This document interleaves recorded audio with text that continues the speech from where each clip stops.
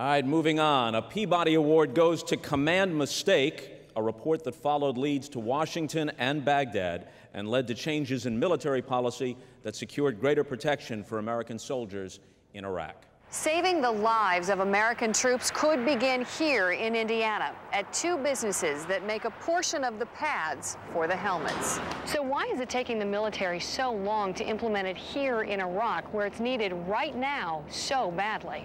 I-Team 8 observed a classified briefing in Fallujah. One main focus, helmet pads, presented by the chief surgeon. As a doctor who sees the injuries coming in, does your gut feeling tell you, yes or no, we need pads? Oh, I can find absolutely nothing that says we need pads. My helmet is not padded.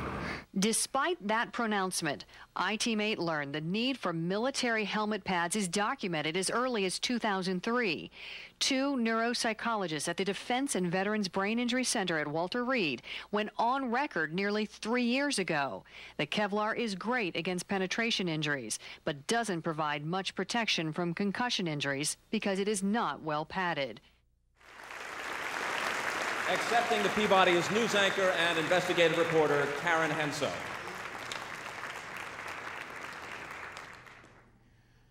Well, like so many of you, I had a great team. Photographer David Hodge and photographer Eric Miller, who's here with me, who worked 12 hour days in 120 degree heat with blisters on his feet over in Iraq. So thank you for that. To my incredible editor, Doug Moon, you edit with heart and it shows incredibly talented.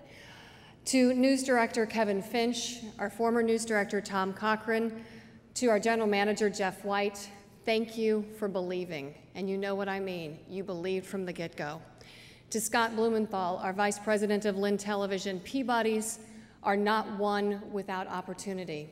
Thank you for the opportunity, especially in local television. But truly, this Peabody is dedicated to the American servicemen and women who are over in Iraq, and while we were there, they treated us as Americans first and journalists second. So to all of them, thank you for your service and for your sacrifice. And thank you for the Peabody.